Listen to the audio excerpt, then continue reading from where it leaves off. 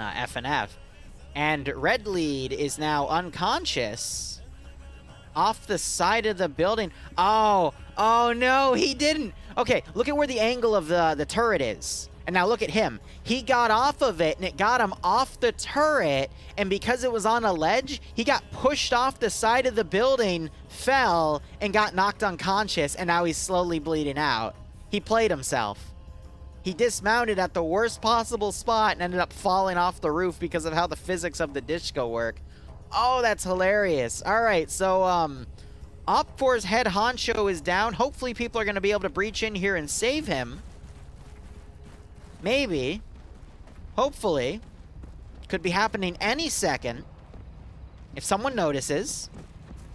I, I hope they notice that there's there's a dude over here. Save him, please.